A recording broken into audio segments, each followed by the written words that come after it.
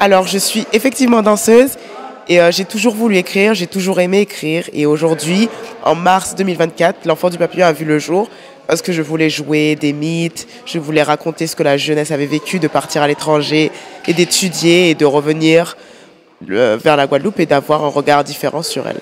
Oui, c'est important de garder le lien. En tout cas pour moi, de toujours faire ce va-et-vient et de se reconnecter aux gens, au lieu, à la nature et à toutes ces, ces qualités, mais aussi aux gens et ce qu'ils ont à partager, ceux qui, ceux qui souffrent, ceux qui vont bien. C'est important pour moi de communiquer avec eux, de voir où est-ce que la Guadeloupe va c'était de voir que malgré le temps où je suis partie, euh, les choses ne semblaient pas avoir changé, mais pourtant quand je reviens, d'avoir moi changé, je peux porter un regard différent dessus, je peux voir plus loin, je peux rêver en grand pour la Guadeloupe. Et ça, c'est vraiment quelque chose de, très plaisant. Ah oui, c'est difficile, et puis de ne pas avoir les mêmes habitudes, de devoir changer, de devoir courir à gauche, à droite, de, de toujours devoir rebondir, c'est pas évident. Mais après, on se sent plus fort. Et puis c'est ça qu'on veut.